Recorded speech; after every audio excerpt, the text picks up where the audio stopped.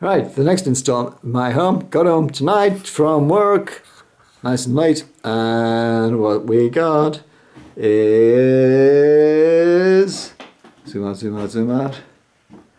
Is four big acro props holding up my ceiling between the rooms. Isn't that fantastic? It's um, well, what they've done is obviously taken down that bit. They put that huge steel that was in their living room yesterday in there. They've propped up the roof. They've saved all my coving, which you can't see from this window, this view. It's all next door, and uh, they've done a little bit of work down the other end, where they've joined as per plans of Alan, my wonderful draftsman. Well, the wonderful draftsman. He's not mine.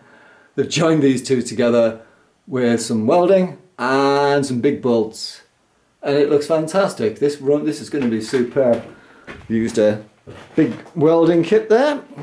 That looks pretty impressive. Welder's goggles lots and lots and lots of dust. Big Stihl saw for knocking out the, the walls. If you look at that as well hang on look at this. Now this is a window. It's a casement window with a bit of with a bit of stained glass at the top. I don't think that's original because everything else is um, is uh, sash, and it just doesn't sit well there. And I just don't figure it out. And the thing is, as well, that wall down there ain't as thick as all the other walls in the house to me, and there's a bit of damp on it. I reckon that that was once a door or something. It could have been a door, could have been could have been anything, but there's a bit of damp there, and there's that window there, and I'm not too unhappy to see that come out because if there's a damp problem, if it's not original, that window ain't original, as long as we can save that little bit of stained glass, I'm quite I'm quite happy to just see that come out. So I don't feel guilty about taking that one out. Anyway, coming through, let's have a look on the other side. Wow, it looks even more impressive. How good is that? We have four big acros again. We have a nice view through to the what will be the kitchen. And you can see there that that lovely coving, which I like, but probably to a coverling specialist, isn't as elaborate as you can get, having looked in catalogues recently. But I like it. Bit of cracking there and whatever, but lots of beautiful acros, great big steel, big T-piece at the end, bish bash bosh, a lot of uh, blocks, more blocks, not sure where that's going. I think that must be to hold up this end of the acro. But anyway, two steels, which hopefully are going to fit into um, that gap there to support the outside wall.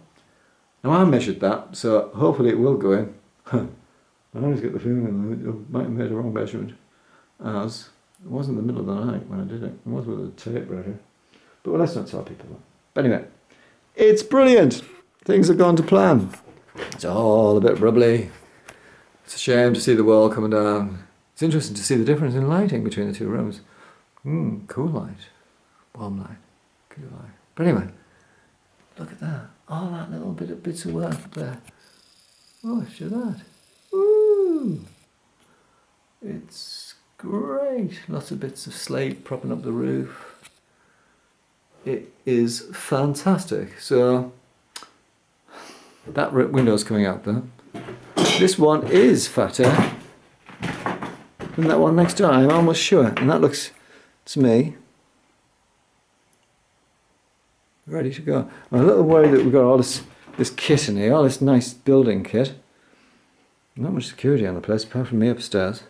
I have to switch the alarms off in the morning so they can get in. But anyway, they'll be gone soon.